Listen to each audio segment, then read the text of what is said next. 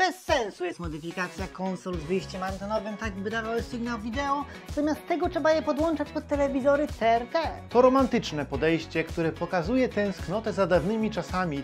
Jednak każdy, kto podłączał komputery i konsole do telewizorów za pomocą kabla antenowego wie, że jest to droga przez mękę. Błędnym jest przeświadczenie, że telewizory CRT magicznie i dobrze taki sygnał odbierały, bo było naprawdę z tym różnie. Jestem osobą, która w swoim życiu podłączała setki konsol do setek telewizorów i mogę Wam powiedzieć, że znalezienie miksu, konkretna konsola, konkretny telewizor, tak aby mieć zadowalający obraz, to długi quest jak w RPGach, gdzie na końcu okazuje się, że nagrodą jest i tak miecz na poziomie 10, gdy w ekwipunku mamy już taki na 20, bo obraz jaki otrzymamy będzie w najlepszym przypadku prawie niezaszumiony. Także przerabiajcie swoje Ramba 2600, Pongi, ZX-y na kompozyt wideo i nawet się nad tym nie zastanawiajcie.